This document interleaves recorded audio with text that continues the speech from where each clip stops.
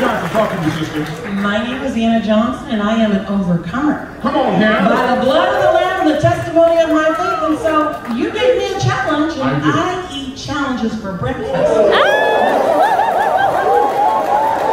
And so, you know, I hung out, I was networking with lovely people here, and it was bedtime. And I'm getting in my room, I'm like, oh, I need ice. and my husband's like, you really gonna do this? Like, your hand? And I'm like, no, I'm gonna do it all. I'm all, I'm all in.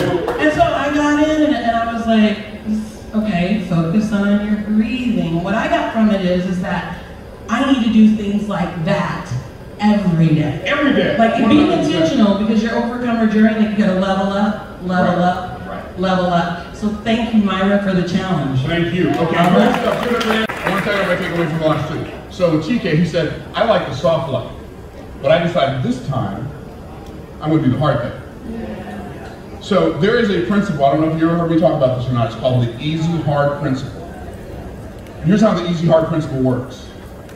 Easy on the front end is hard on the back end. But hard on the front end is easy on the back end. What, what, what, what does that show us about life?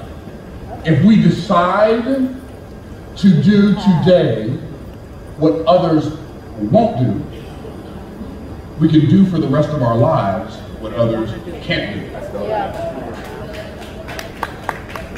And I love what Anna said. And by the way, that you need a woman, that was a great close. That was a great close. Give it up for Anna, y'all.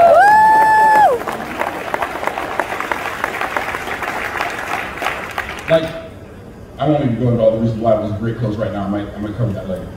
But here's what she said. She said, "Gonna do your hand? I'm all in." See, people think I'm not all in. I'm just kind of part, partially. I'm kind of halfway in. I'm a little in. There's no such thing as a little in. You're either all in or you're all out.